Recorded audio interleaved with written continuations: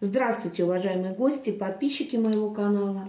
Я всех вас рада приветствовать в 2023 году. Желаю всем крепкого здоровья, любви, счастья, благополучия, мирного неба над головой. Тема сегодняшнего моего расклада – Томас Теодор Мерилин. Эта история начиналась так. А, власти Лондона решили снести старый особняк. И там они обнаружили уникальную библиотеку, а также коллекцию неизвестных науке существ. Останки драконов, вампиров, фей и различные были магические книги, а также зелья а, с всевозможными, опять-таки, неизвестными свойствами. Томас Мерилин жил на рубеже 18-19 веков. Он был ученый, натуралист. А те находки, которые нашли в этом особняке, опечатали и стали ждать наследника. И полновластным владельцем стал правнук и полный тезка Томас Теодор Мерлин. Правнуку передали необычную коллекцию. Э, это были детеныши драконов, мумии русалок, а также заспиртованные эльфы. И на этом, в общем-то, как бы история а, заканчивается. Однако Теодор а, Мерилин стал все больше и больше интересовать людей. Что примечательно, он путешествовал один. И что еще удивительно, в 80 лет он выглядел а, на 35 лет. Он был полон сил, и прожил он до а, 160 лет – Томас Теодор Мерилин родился в 1782 году, а бесследно исчез в 1942. Родился он в аристократической семье. Отец Томаса был богат. Он был в Англии известным биологом, а также Эдвард имел генеральский чин – британской армии. Именно он начал собирать коллекцию различных неизвестных животных и растений, а также разных существ. Вот а, что я сейчас посмотрю. Меня попросили посмотреть, что же это была за личность а, Теодор Мерлин. Сегодня я буду работать на Таро черный гримуар.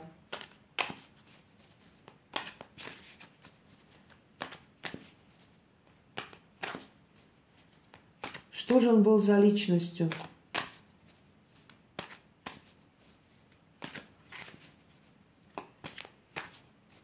И где же он добыл необычную коллекцию.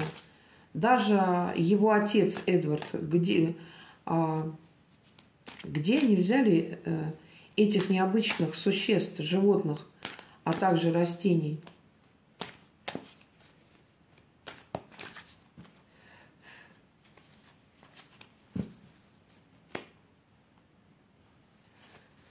Что же он был за личностью, Теодор?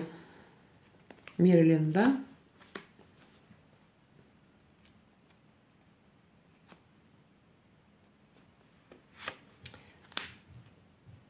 Что же это за коллекция? Откуда она взялась, эта коллекция? Там тысячи-тысячи экспонатов. И куда же исчез в 1942 году Теодор Мерилин? Куда же он исчез?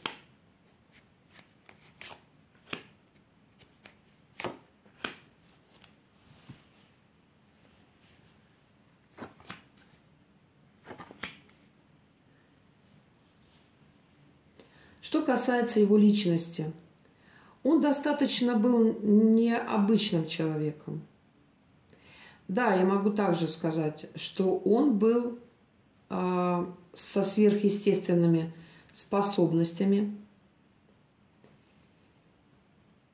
и он мог видеть то, что не видит то, что не видят другие люди. Он, знаете, как э, кропотливо, скорее всего, то, что ему передал его отец, кропотливо что-то изучает. Вот если брать его психологический портрет, он достаточно терпеливый человек, умеет, знаете, долгое время, может быть, даже не менять позу, находиться в определенной э, позе и что-то кропотливо изучать. Дальше. У него э, по, по шестерке пентаклей, опять-таки могу сказать, он достаточно был э, уравновешенным человеком,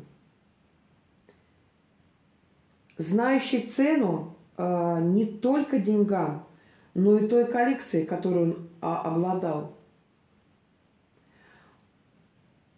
Но вот опять-таки, несмотря на то, что вот я его вижу как щедрым, бескорыстным, знаете, таким меценатом, он одинок. Он одинок, и он не тот, за кого он себя выдавал. Я еще посмотрю, что еще есть в этой карте. Что еще есть в этой карте? Карта башни и семерка мечей. Я бы могла даже так сказать. Он обладал огромной э, огромной-огромной энергией.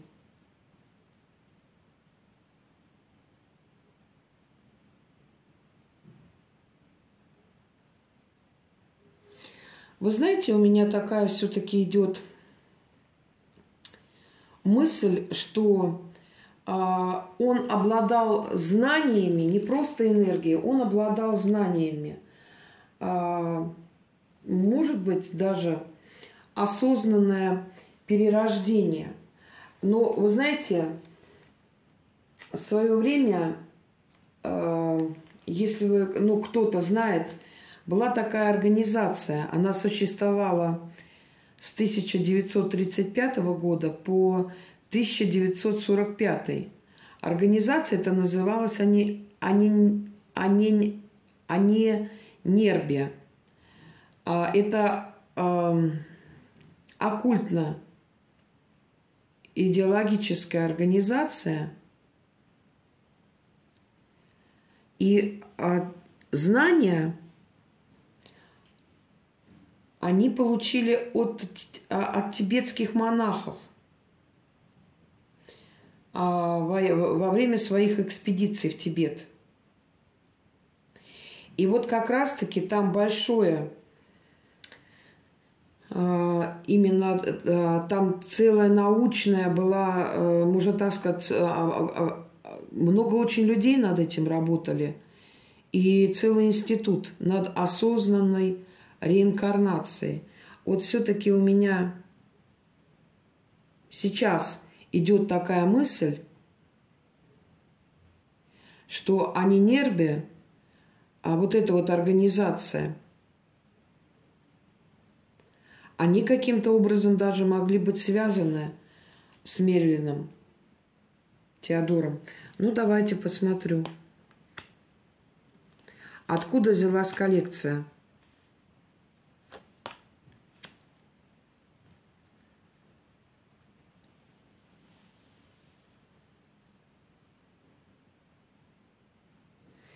А то а, однозначно а, все все, что, скорее всего, было взято через тайну порталов. И Теодор, он знал, и, возможно, он входил в порталы.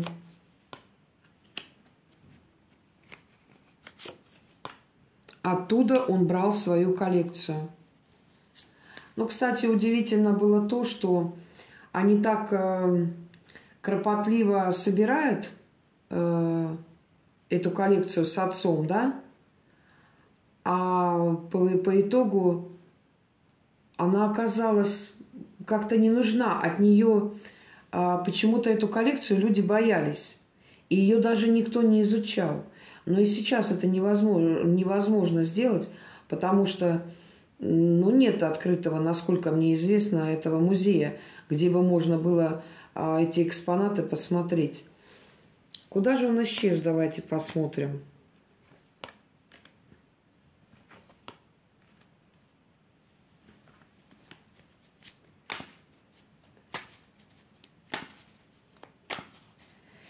А, во-первых, я вижу то, что как будто он не, он не просто так исчез в 42 году, в 1942 году.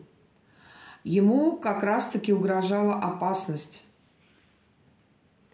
И у него, это было вынужденное исчезновение.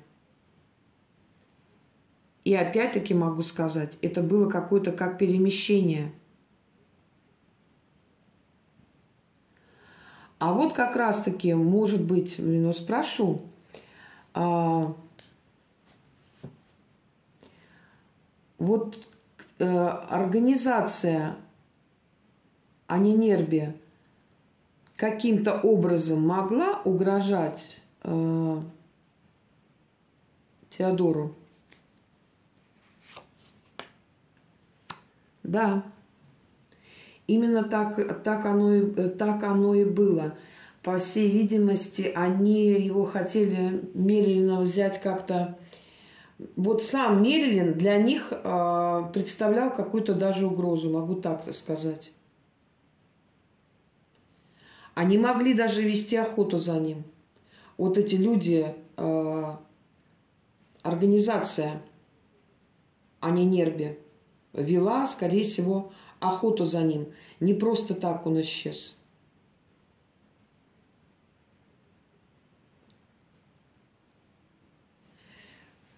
Так. Знаете, что спрошу? А,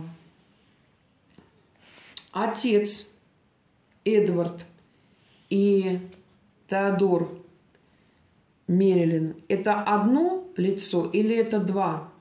разных человека.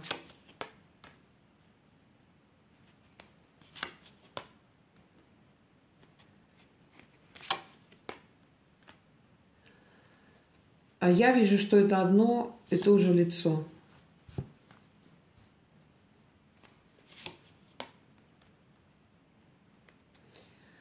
А вы знаете, как бы странно не было то, что я скажу, а, вот отец, отец как раз-таки а, был известен а, как... Э, он имел генеральский чин британской армии, он был тоже ученым.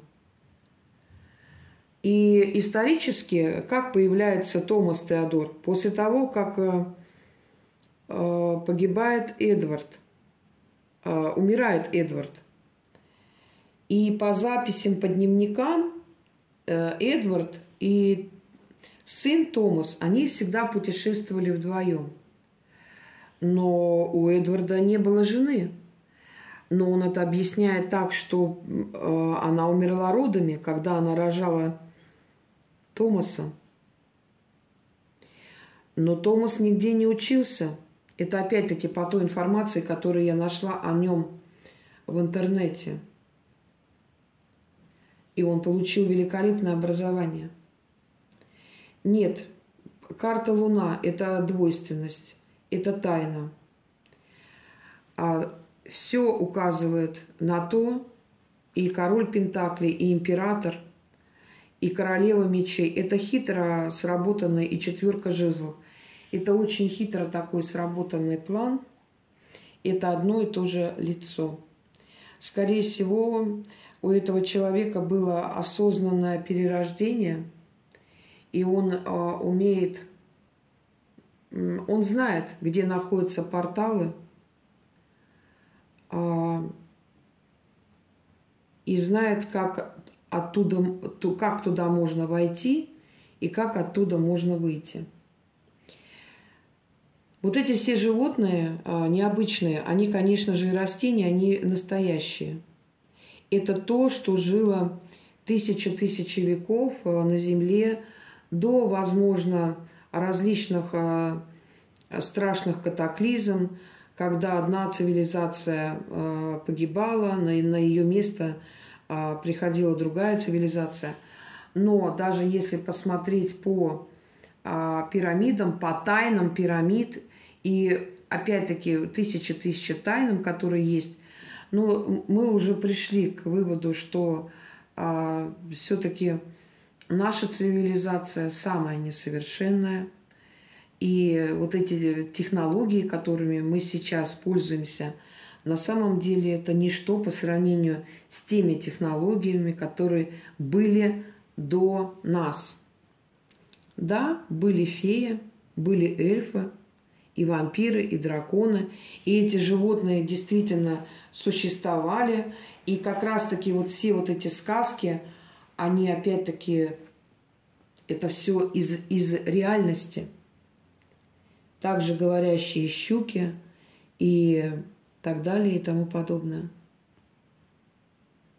Но я действительно вижу, что Теодор э, Мирелин был удивительным человеком, и он не исчезал. Нет.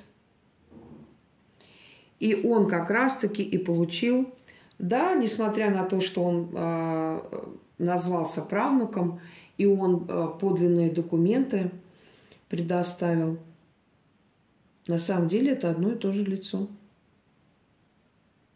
Это один и тот же человек. которая обладает, э, возможно, тайной бессмертия и может перемещаться. Я это вижу так.